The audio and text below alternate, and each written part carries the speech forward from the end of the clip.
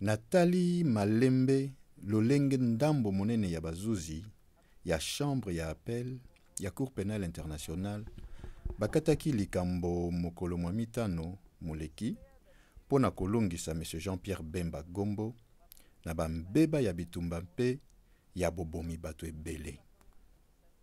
Ezali polele ete Mbeba minene misalemaki na Republique centrafricaine na mapinga ya Monsieur Bemba oyo asalaki ete pasi monene esalemaki na mboka Centrafrique. Bureau na nga ebengaki ba avocats ya ba victimes na kati ya likambo oyo. yango, elongo na bango, mitema na biso ezali ya kobukana likolo na mokano wana mpe na consequence yango mpo na ba victimes. Ngai lokola procureur mpe mokonzi ya na kati ya esambiselo, esengeli natosa mpe kondima mokano wana mpe ntina na yango, Esengeli nasunga bosembo bwa procedure ya esambiselo.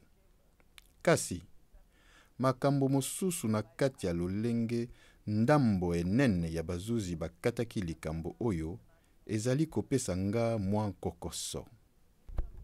Lolenge bazuzi wana mibale oyo bandimaki ndenge likambo oyo ekatamaki te balobaki na molai, na makanisi na bango, ndambo enene ya bazuzi ya Chambre ya Appel balongwaki na nzela ya lolenge makambo ekatamaka na botali lisusu na nzela ya appel etalaka soki libunga esalemaki na botali bilembo, lolenge esalemaka ntango nyonso na chambre ya appel ya CPI kaka te banda ebandeli kasi na ba chambres misusu ya bisambiselo bya onu. mpe na bisambiselo bya bikolo binso. Ezali mawa mingi komona ete kolongwa na nzela oyo ezanga ntina mpe ndimbola na bokati makambo ya liboso ya esambiselo, lolenge bazuzi oyo bandimaki te balobaki yango, mpe kotya na esika na yango eloko mosusu ya sika. oyo eyebani malamu te mpe etikali komekama ata moke te. Esalemi na esambiselo lelo na kati ya likambo monene ya mbeba ya kolala basi na makasi, likolo na nyonso wana sikoyo, na ntango esengelaki nde kotinda signal makasi na mokili mobimba ete mbeba ya bosoto ya ndenge wana ekoki kozanga etumbu te. Emonani lisusu ete ndambo enene ya bazuzi batiki lolenge makambo ekatamaka liboso na esambiselo mpe lolenge esalamaka na bikolo binso, lolenge procureur afundaka bato na kati ya makambo oyo etali bobomi bwa bato ebele. Ndelo ya ba details oyo esengeli procureur akotisa mpo na kofunda moto. Ekokoma mpasi mpo na kofunda bato na makambo makoya oyo esalemaki na bitumba makasi basalaki ba victimes ebele. Mingi mingi, soki moto oyo azali kofundama azali ye moko mobomi te, Kasi commandant oyo azali mosika na esika mbeba esalemaki. Kasi ye nde azali na responsabilite ya bobomi oyo esalemaki mpo ye nde mokonzi na bango, oyo azalaki mpenza kokonza baoyo basalaki mbeba. Na kati na mikanda ya bosembo ya esambiselo, Soki chambre ya appel ekati likambo, likambo wana esuki. Nzela mosusu ezali te mpo na kotelemela mikano ya, na yango. Yango wana, na makanisi na nga, esengeli mpenza bazuzi ya appel bazwaka makambo na bokebi ntango bazali kotala likambo oyo esali kokatema liboso. Nakanisi ete na mikolo mikoya, lolenge wana ya kala ya kotala makambo ekozonga. Nazali kondima kaka ete likambo ya Monsieur Bemba ezalaki makasi mpe ezalaki na bilembo ebele. Esungamaki na moboko mwa bilembo oyo Elakisamaki na esambiselo. Mbeba ya bobomi bato na bitumba mpe ya bobomi bato ebele oyo Bemba afundamaki na yango endimamaka na bazuzi ya CPI na Chambre ya ebandeli. Likambo lisambisamaki mpe condamnation na ye endimamaki na bazuzi banso.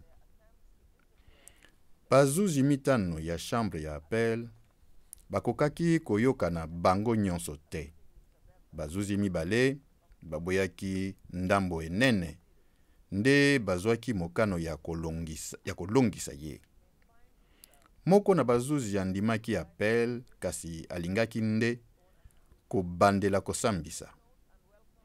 Bazuzi mibale oyo bandimaki te bandimaki condamnation ya Monsieur Bemba. Suka na yango, Bemba alongaki mpo ndambo monene ya bazuzi ya Chambre ya Appel bamonaki ete Monsieur Bemba ye moko te nde moto asalaki bambemba wana lokola Commandant. Mpo na kosukisa, nalingi nazongela bavictime. Nzela molai mpo na koluka bosembo na kati ya likambo ya Bemba ezali nde temoignage mpo na mpiko oyo eninganaka te mpe determination ya bavictime ya Republique centrafricaine mpo na kobundisa kozanga etumbu. Likambo ya Bemba Ekotikala seko elembo monene ya boyebani ya mbeba ya bolali basi na makasi, bobomi mpe boyibi biloko ya bato oyo ba victimes ya Republique centrafricaine banyokwamaki na maboko ya mapinga ya Mouvement de liberation du Congo oyo ezalaki mpenza na nse ya bokonzi mpe controle ya Monsieur Bemba, oyo andimaka mbeba wana na eleko ya bitumba ya 2002 mpe 2003 na RCA. Jugement ya appel ya Bemba ekonfirme yango. Biro na ngai ekotelemela na mokangano na bavictime ya Republique centrafricaine banda mbula koleka zomi.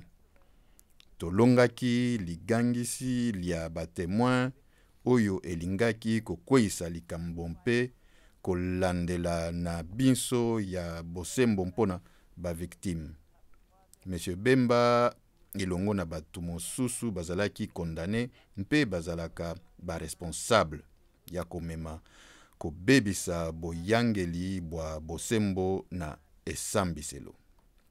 Ata lolenge jugement ya appel elongisi Monsieur Mbemba, na consequence na yango ya botelemisa misala ya bofuti, Trust Fund mpo na victimes, na CPI, ekoki kozwa yango moko makoki mpo na kofuta na mbongo ya bango moko.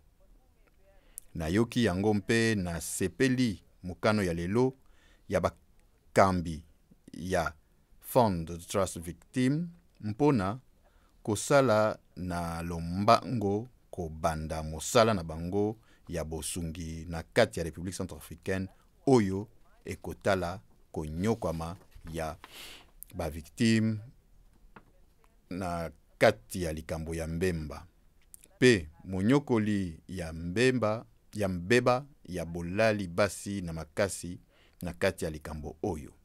Esambiseli oyo ekokoba na mpiko ya sika bitumba na yango mpo ete kozanga etumbu ezala te na bato oyo bazali kosala mbeba minene minene. Mpo na yango, biro na nga ezali na nguya ya kosala mosala na yango na makanisi ya ezaleli ya bavictime